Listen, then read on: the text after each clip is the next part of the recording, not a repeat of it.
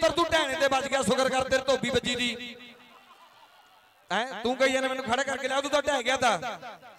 ਹਾਂ, ਤੂੰ ਸ਼ੁਕਰ ਮਨਾ ਤੇਰਾ ਬਚਾ ਹੋਇਆ। ਹਾਂ, ਬੱਲੇ ਬੱਲੇ ਬੱਲੇ।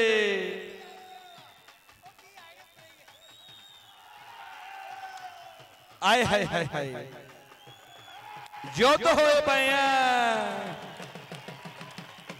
ਉਧਰ ਰਸ਼ੀਦ ਕੁਸ਼ਤੀ ਜਿੱਤ ਗਿਆ। Lá viva!